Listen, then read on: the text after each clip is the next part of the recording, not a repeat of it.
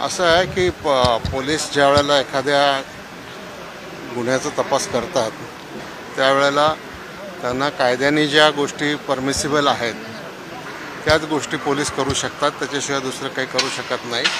आणि मला असं वाटतं की पोलिसांना त्या दृष्टिकोनातून त्यांनी ती नोटीस लावली असते पासष्ट वर्षावरील व्यक्तीला पोलीस स्टेशनमध्ये बोलवता येत नाही असा विरोधी पक्षनेत्यांचा तर्क आहे त्यांनी ट्विट केलं असं आहे की त्याच्यामध्ये म्हणजे त्यांनी पोलीस स्टेशनमध्ये येणं किंवा त्यांच्या घरी जाऊन जबाब घेणं याच्यामधलं काही शक्य आहे परंतु आता त्यांच्यामध्ये चर्चा चालू आहे.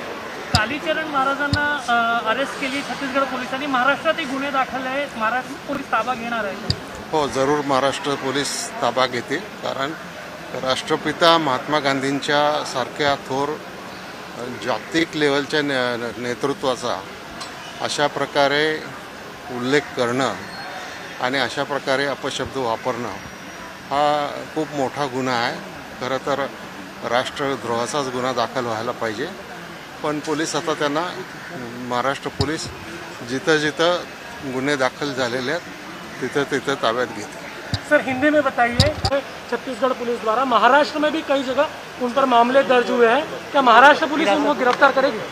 जर ऐसा है, अभी गिरफ़्तार तो हो चुके हैं तो महाराष्ट्र पुलिस जहाँ जहाँ उनके खिलाफ केसेस रजिस्टर हुए हैं, वहाँ पे वो ताबा लेगी और इन्वेस्टिगेट करेगी।